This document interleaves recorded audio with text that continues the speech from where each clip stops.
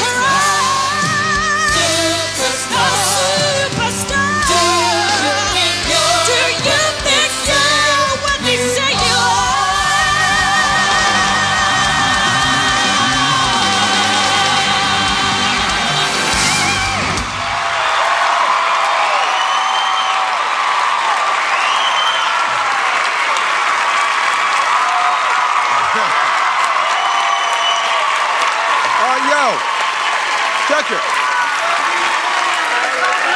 I, I, I, it's no surprise to me that the bigger voices in this show this year are doing better tonight because these songs are hard songs to sing and they're very rangy. I mean, I don't know if this was your best performance, but it was definitely good.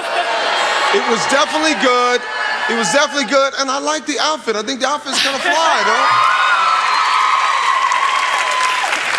I loved so much that it was so unexpected, and I, I thought at first maybe it might be in too high of a range for you, but I love what you did in the chorus. I Thank love you very much. and only a pro Thank can you do that.